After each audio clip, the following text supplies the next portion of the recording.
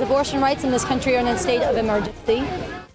Tensions heated up in Main Plaza today as members of an abortion rights group demonstrated right in front of San Fernando Cathedral. And as Erin Nichols explains, an anti-abortion group challenged their message against state abortion regulations, leading to an all-out showdown.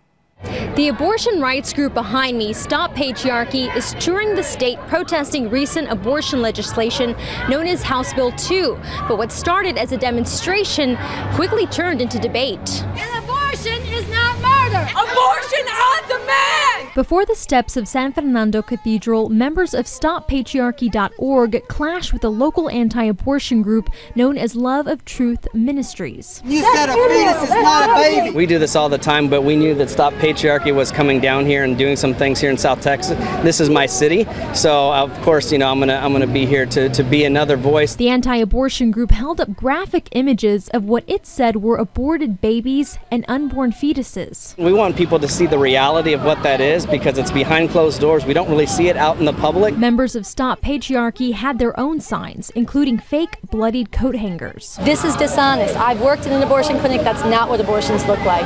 Um, and, and it's it's an attempt to play on people's emotions. The abortion rights group met in front of San Fernando to protest House Bill 2 and what members referred to as religious influence on abortion legislation. Closing arguments were heard yesterday in an appeal of HB 2 that would require all abortion clinics in Texas to meet the standards of ambulatory surgical centers.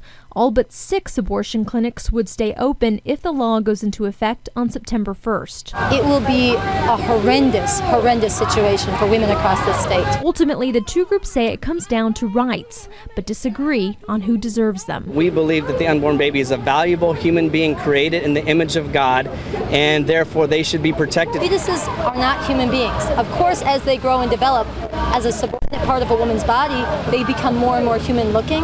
But until they're born, they're a part of a woman's body. Stop Patriarchy will continue touring the country protesting abortion legislation. As for the appeal of House Bill 2, that verdict is still undecided.